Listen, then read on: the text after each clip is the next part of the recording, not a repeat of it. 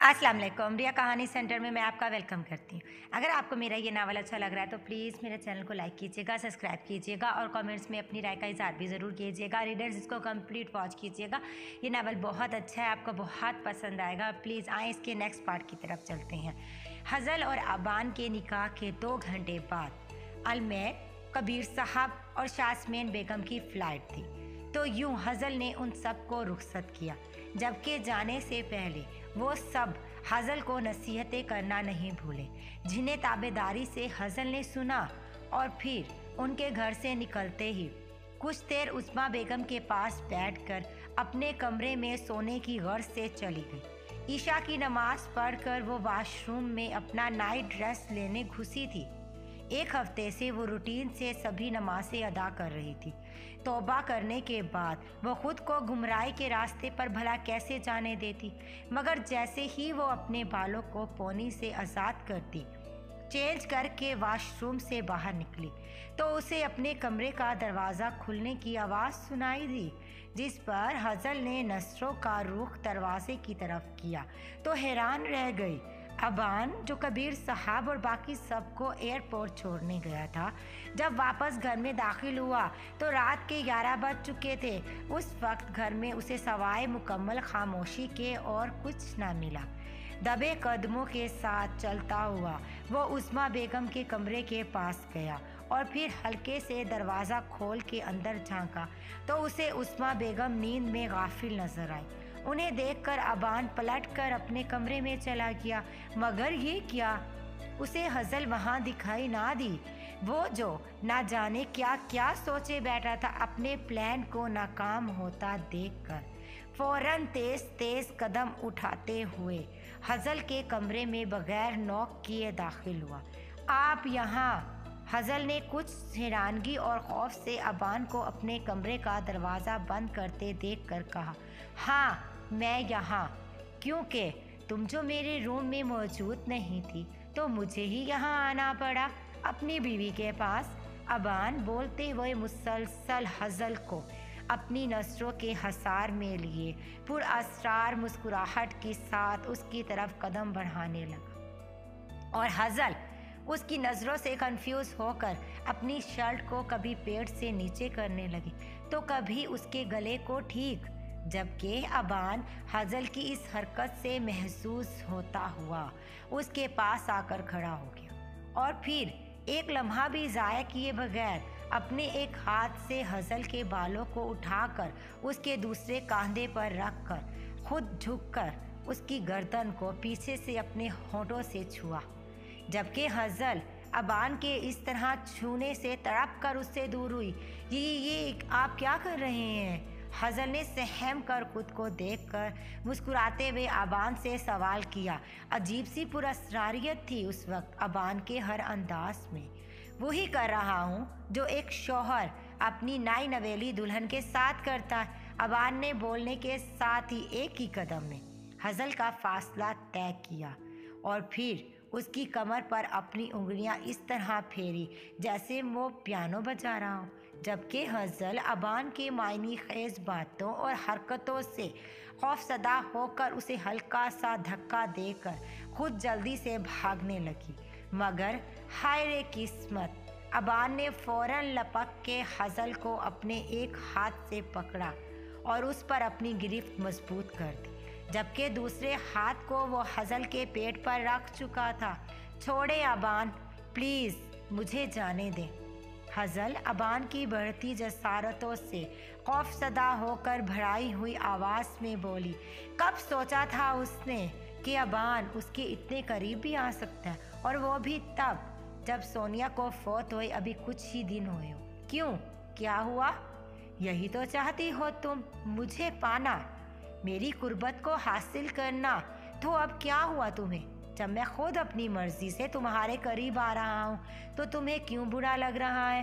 अबान हजल के कान में आहिस्ता आहिस्ता से बोल रहा था, जबकि उसकी बातों के अलावा उसके होठों का लम्स महसूस करके हजल के रोंगटे खड़े हो गए।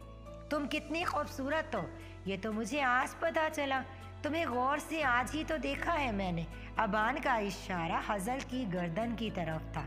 जिस पर मौजूद काला तिल, उसे बार बार अपनी मनमानी करने पर उकसा रहा था, जो कि वो कुछ देर पहले भी कर चुका था। तुम्हें पता है, ये शर्ट तुम्हारे जिस्म पर कितनी जच रही है, लेकिन इस वक्त मुझे इससे बहुत चिड़ हो रही है, जो तुम्हारी खूबसूरती छुपा रही है मुझसे। अबान ने बोलने के साथ ही हजल के कांधे से शर्ट नीचे करके उसके शोल्डर पर हल्का सा बाइट किया। जबकि अबान की इस हरकत पर हजल पूरी जान से काँप उठी। वो जो कब से अपनी पूरी कुवत लगा रही थी अबान को पीछे करने में, मगर कामयाब नहीं हो रही थी। आखिर अबान के सामने उस नाजुक सी लड़की की ताकत क्या अहमियत रखती थी? और वैसे भी अबान ने उसे पकड़ा इस तरह हुआ था कि वो चाहकर भी खुद को उससे अलग नहीं कर पा रही थी। अबान से अलग होने की कोशिश में उसके दोनों बाजू शदीद दर्द करने लगी थी। जो कि अबान एक हाथ से पकड़कर हजल के कमर के साथ लगाए हुए था। अबान प्लीज़ मत कहिए ऐसे। मेरी मोहब्बत, मेरी चाहत की इंसल्ट मत करें। मैं तो दूर हो गई थी ना आपसे। जा रही थी यहाँ से, आपसे दूर, आपकी खुशियों से दूर, हमेशा के लिए। फिर क्यों आप मेरी मोहब्बत को गाली दे रहे हैं? इसे हवस का नाम दे रहे हैं? हजल, थक हार कर, बेबसी से अबान के सामने रो पड़ी। जबकि उसका ये एतराफ़ अबान को बहुत कुछ याद करवा गया, जो उसे जोश दिलाने के लिए काफ़ी था। हाँ जा रही थी यहाँ से दूर, क्योंकि तुम्हारी बदुआएँ जो पूरी हो गई थी, छीन जो लिया था मुझसे मेरी सोनी को तुम्हारे इन आंसुओं ने। नफरत है मुझे इनसे। अबान ने झटके से हजल की बाजू छोड़कर उसका रुख अपनी तरफ़ किया और फिर शदीद नफरत से बोलते हुए, आखिर में उसके नरमो नाजुक गालों पर बहते आंसुओं को अपनी हथेली से रगड़ कर साफ़ किया और फिर साथ ही हजल को ज़ोर से धक्का दिया, जिससे वो औंधे मुँह बेड पर जा गिरी और उसकी शर्ट जो कि पहले ही कुछ ऊँची थी, इस तरह गिरने से कमर की तरफ़ से ऊपर हो गई, जिससे उसकी पतली कमर नुमाया होने शुरू हो गई। इससे पहले कि हजल सीधी होकर बेड से उठती अबान तेज़ी से उसकी तरफ़ बढ़ा और फिर अपने एक घुटने को बेड पर रखकर, खुद अपने एक हाथ से हजल के बालों को दबोचा, जिस वजह से उसका चेहरा भी ऊपर हो गया और दूसरे हाथ को हजल की शर्ट के अंदर डालकर उसकी कमर को ज़ोर से पकड़कर उसे खुद के करीब किया। इतना करीब के हजल को उसकी गर्म सांस से जो कि वो तेज़ तेज़ ले रहा था, शायद गुस्सा कंट्रोल करने के लिए अपने चेहरे को झुलसाती हुई महसूस हुई। जबकि हसल अबान के इस जंगली पन से इस कदर खौफसदा हो गई थी कि अब उसकी साँसें इतनी धीरे धीरे चल रही थी जैसे अभी रुक जाएँगी। अगर चाहूँ तो अभी के अभी तुम्हारी ज़ात की धज्जियाँ उड़ा के रख दूँ, मगर नहीं मैं ऐसा कुछ नहीं करूँगा, क्योंकि घिन आती है मुझे तुमसे। तुम क्या समझ रही हो कि मैं तुम्हारी कुर्बत की चाह में आया हूँ? इतना मर रहा हूँ मैं तुम्हें पाने के लिए। तुम इस हजल, अबान हैदर को नफरत है तुमसे, तुम्हारे वजूद से, तुम्हारी मौजूदगी से। ये निकाह भी सिर्फ़ मैंने तुम्हें अपना पाबंद करने के लिए किया, ताकि तुम पूरी उम्र मेरी कैद में रहो, और मैं तुम्हें हर दिन टॉर्चर कर सकूँ। अबान इंतहाई नफरत से, हजल के चेहरे के एक एक नकूश को अपनी नसरों से घूरते हुए बात कर रहा था। जबकि वो मुकम्मल मजबूती से आँखें बंद किए, उसकी नफरत बर्दाश्त कर रही थी, जो कि उस मासूम लड़की के लिए नामुमकिन सा अमल था। सिर्फ़ तुम्हें सुकून की ज़िंदगी और आज़ादी ना मिले। उसके लिए मैंने अपनी ज़िंदगी बर्बाद करनी पसंद की, तुमसे निकाह करने की सूरत में। अब रहो मेरे निकाह में, जिसके लिए मर रही थी तुम, और सहो, हर गुजरते दिन मेरी बढ़ती हुई नफ़रत को। अबान ने इंतहाई हकारत से बोलते हुए, हजल को दोबारा बेड पर धकेला और फिर गुस्से से कदम उठाते हुए दरवाज़ा खोलकर अपने कमरे में दाखिल हो गया। जबकि हजल, जो पहले अबान के वहशीपन से बेहोश हो रही थी, अब उसकी हकारत से भरी बातें सुनकर होशो हवास से बेगाना हो। कहाँ बर्दाश्त कर सकती थी वो दीवानी लड़की? उस शख्स की खुद से की गई इतनी नफरत, जिससे वो दुनिया में सबसे ज़्यादा मोहब्बत करती थी। मैं आई कमिन सर। अलमेर पेशानी पर लात दात बल डाले लैपटॉप पर झुका था, जब उसके कैबिन का डोर लॉक करके उसकी ऑफ़िस वर्कर ने इजाज़त तलब की, जो उसे फ़ौरन अलमेर ने दे भी दी। जी मिसीना क्या बात है? अलमेर ने एक नज़र हिना ऑफ़िस वर्कर पर डाली और फिर से अपने काम में मसरूफ़ हो गया। सर, एक लड़की कब से बाहर वेट कर रही है? जॉब इंटरव्यू के लिए, और अब तो शाम भी होने वाली है तो क्या मैं उसे अंदर भेज दूँ?